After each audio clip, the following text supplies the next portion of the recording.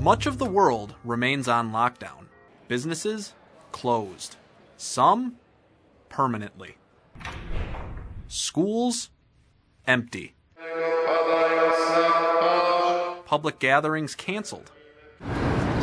All of this to slow the spread of a virus so hospitals don't get overwhelmed.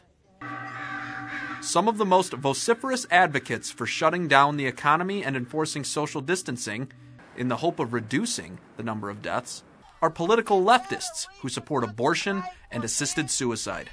The spread of the virus and the resulting lockdown orders caused widespread panic in the U.S. in March and rocked the world financial markets.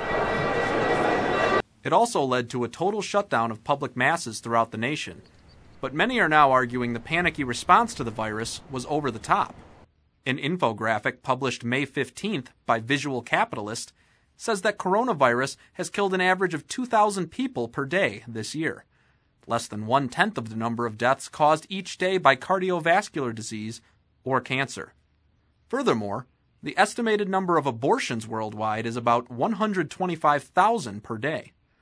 Some say the collective meltdown over the Wuhan virus was facilitated by people's phobias about death and their lack of belief in eternity.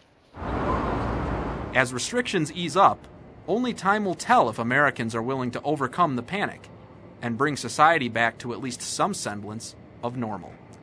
Joseph Enders, Church Militant, Detroit.